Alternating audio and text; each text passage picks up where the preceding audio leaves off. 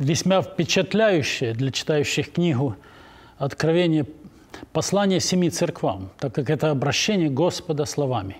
«Имеющий ухо да слышит, что Дух говорит церквам». И завершая свое обращение, каждой из церквей наш Господь оканчивает этими словами в количестве семи раз. Это подобно, э, подобно тому, о чем Христос просил своих учеников при своей земной жизни. Не менее шести раз Он говорил, обращаясь к народу, со словами «Кто имеет уши слышать, да слышит». Дважды Он говорил «Слушайте и разумейте». Он также просил учеников «Наблюдайте, как вы слушаете».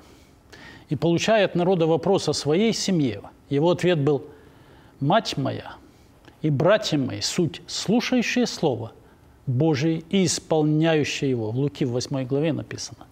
Сам Бог Отец, обратившись на горе преображения, провозгласил о Христе. «Сей Сын мой возлюбленный, его слушайте». В 8 Луки написано. И обратившись к семи, церк... семи церквам, Дух Божий говорит одновременно к единой церкви, то есть к нам, так как число семь говорит о совершенстве и означает то, что это был голос ко всем периодам, ко всем поколениям истории новозаветней церкви. Я обращаю ваше и свое внимание, друзья мои, на то, что Дух продолжает говорить в настоящем времени, таким же образом, каким он говорил на протяжении всех веков. Он говорил Иоанну на заброшенном и забытом всеми острове Патмос.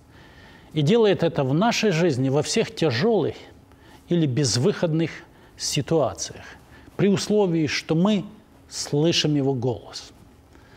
Апостол Иоанн завершает книгу Откровения словами о том, что Дух Божий и Его Церковь, то есть мы, продолжают говорить и не будут молчать до конца всех времен. Написано, и Дух, и невеста говорят «приди», и слышавший да скажет «приди».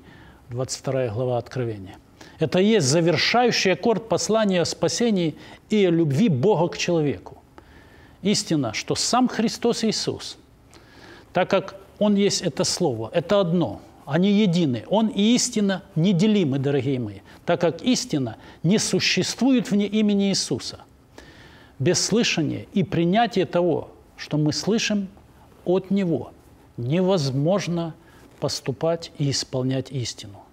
Писание говорит нам, что если мы приняли Его, мы должны ходить в Нем – и Дух истины ведет и направляет церковь стоять в истине, хранить истину, распространять истину. И единственный, так скажу, духовный институт на земле, имеющий и обучающий истине, это его церковь.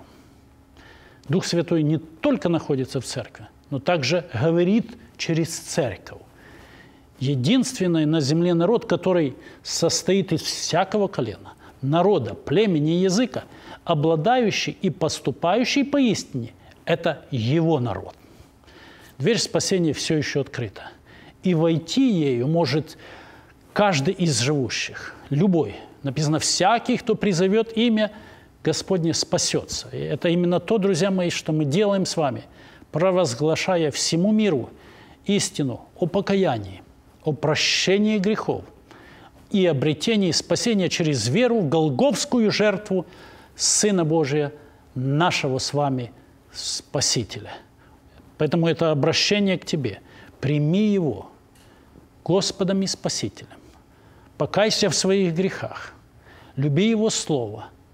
Поступай по Его истине. И Бог да благослови вас.